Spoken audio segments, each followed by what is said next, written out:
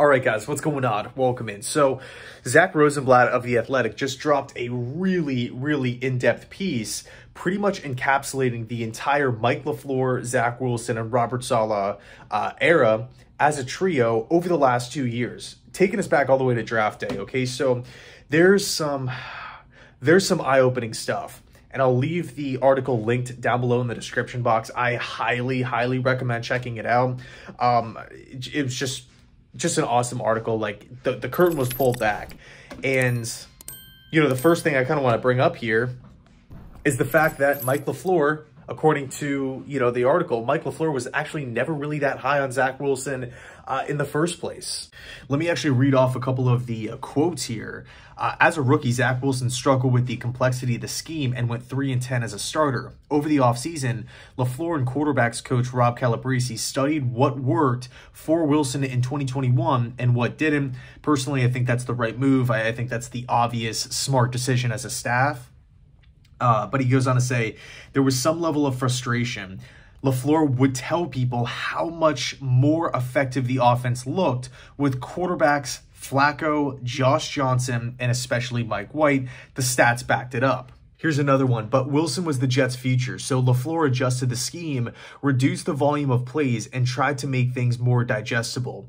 Wilson seemed to have a better handle on the offense in OTAs and went into the rest of the offseason committed to building chemistry with his wide receivers. Now, you know what's crazy about this whole thing was like I felt from Joe Doug from top down, right? So Joe Douglas down to Saleh, down to the staff, down to the personnel, everybody was on the same page.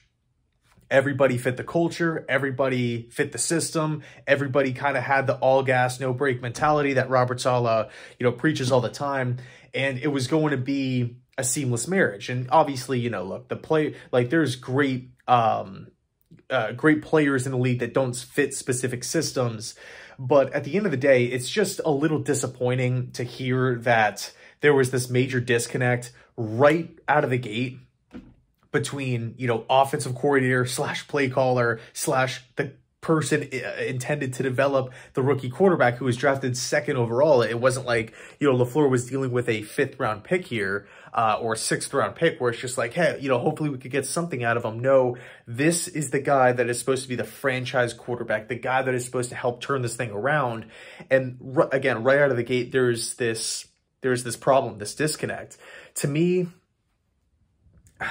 man, I, I, feel like, well, from Zach Wilson's perspective, you know, if he's just not capable as a quarterback, that's just a problem in and of itself. But when we look at the Jets organization, when we look at Mike LaFleur, um, it goes back to what a lot of you guys were saying at the time, which was the Jets needed a veteran mind in the coaching room. The Jets needed maybe a veteran backup quarterback in the locker room, uh, specifically during Wilson's rookie season when you look at the quarterbacks on the roster, and it was guys like James Morgan and Mike White, who at the time hadn't played in a, in a regular season game.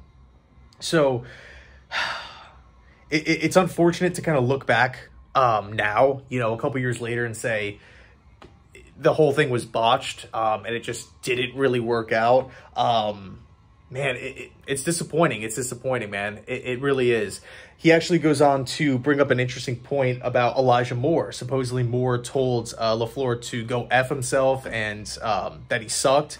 That was the reason why he got sent home in the practice in October. And as we all know, the trade request came shortly after, but Rosenblatt went on to make a really fascinating point when he said multiple people in the organization pushed back on the narrative that Johnson forced Saleh to fire LaFleur. Though Saleh likely did feel pressure from above to make changes, for weeks, Saleh defended LaFleur, insisting publicly and privately that the problems were not one person's fault. And, you know, again, it just goes back to the disconnect between quarterback and OC.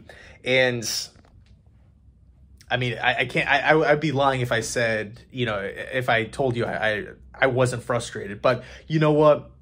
It's in the past it is what it is. Hopefully Elijah Moore connects with the new offensive coordinator that's, you know, brought in, but I'm focused on the future.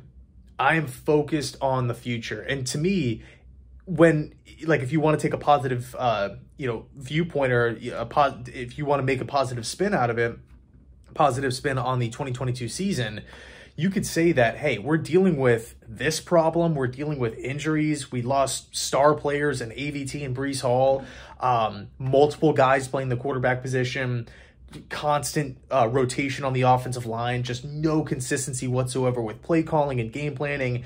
And the Jets still managed to walk away with seven wins.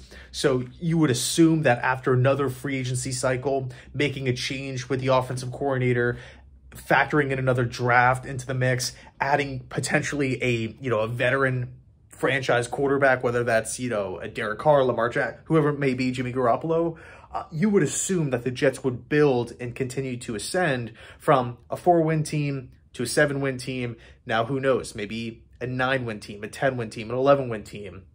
So we'll see how it plays out. Personally, though, I'm focused on the future.